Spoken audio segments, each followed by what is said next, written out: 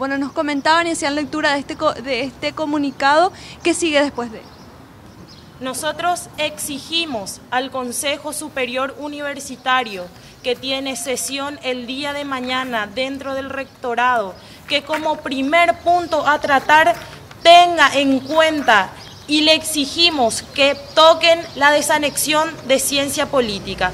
Nosotros hemos agotado las instancias institucionales, hemos presentado un pedido de reconsideración de la no desanexión con 80 firmas, que somos la mayoría estudiantes de la carrera de ciencia política, que no vamos a decir no vamos a decir ni un paso atrás por nuestras carreras porque la Faxo hoy es una realidad y nosotros sabemos y entendemos que el Consejo Superior Universitario va a poder lidiar y va a poder mediar en esta situación sabiendo que la ciencia política es una ciencia social y que tiene que integrar la nueva facultad de ciencias sociales. Ustedes no salen de aquí hoy mientras que no tengan una respuesta.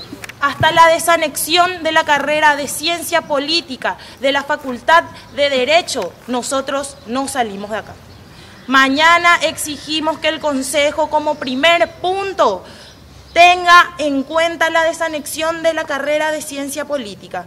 Eso es lo que exigimos ahora mismo. Los funcionarios estudiantes hoy no ingresan aquí a la institución. Nadie entra ni sale hasta que el día de mañana efectivamente nosotros tengamos la seguridad de que el Consejo Superior Universitario va a tocar nuestra desanexión.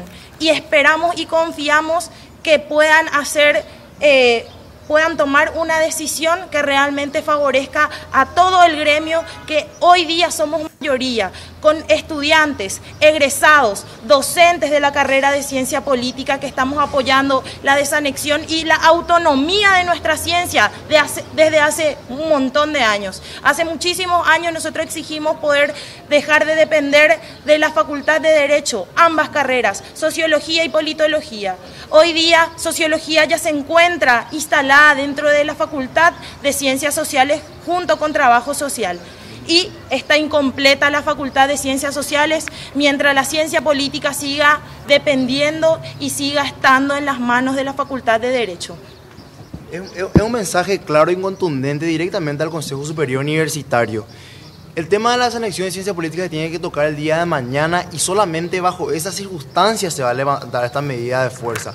Esto trasciende mucho más que cualquier internismo en cualquier facultad, esto es nivel, algo nacional, es la educación, es la universidad, es dejar que evolucionen las ciencias sociales. Es evidente que la estructura conservadora no quiere que evolucione las ciencias sociales, quiere que se mantenga estancada, no quiere formar gente crítica, no quiere formar gente que piense y que les pueda cuestionar cosas. Entonces es por eso que nos oprimen poder tener profesores de calidad, darnos una buena malla, una buena malla curricular, profesores que sean acorde a, políticas. Porque acá tenemos profesores, todos abogados, que no tienen nada que ver con lo que estamos estudiando.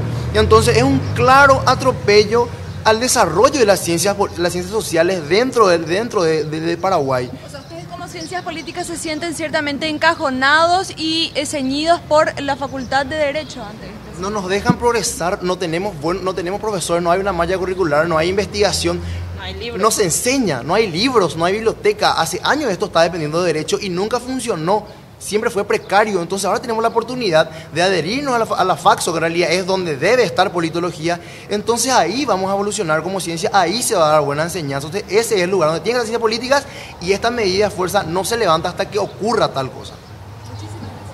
Bueno, esto es lo que está pasando aquí en la escuela judicial. Ya están instalando sus carteles, pancartas y demás, haciendo esta movilización.